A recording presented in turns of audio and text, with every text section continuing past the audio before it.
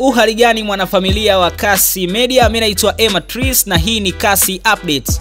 Hebu nianze kwa kuuliza swali. Kwa mfano ikitokea wewe ni msanii umeambiwa uandae playlist ya wasanii wenzio ambao wanafanya vizuri sana.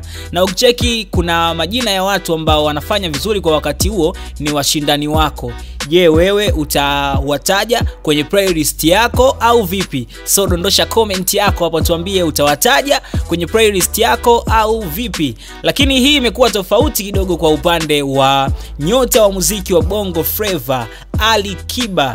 Yeye bana kupitia eh, playlist yake ya bongo freva kwenye origins ya apple music ah, amewataja wasanii ambao ni kama record label ambayo anashindana nayo sana kwa muda mrefu kinoma noma. So ameweka majina pale ya wasanii wa wcb hasa akiwemo diamond platinum mboso na zuchu ndani yake. Na nikwambie tu hawa ni washindani wa muda mrefu sana wa alikiba na ikiwemo diamond platinum mwenyewe ndiye mshindani mkubwa sana wa alikiba. So amewataja kwenye playlist yake lakini amemention ngoma ambazo anazikubali sana kutoka kwa wasanii hawa e, baadhi kutokea wcb kwa upande wa diamond platinum alikiba amesema ngoma anayokubali sana playlist yake ni african beauty ambayo alimshirikisha omarion.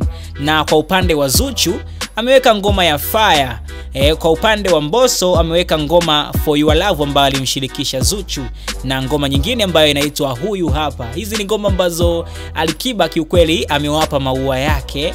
E, amewapa maua yao akina diamond platinum hasa hususan wcb nzima.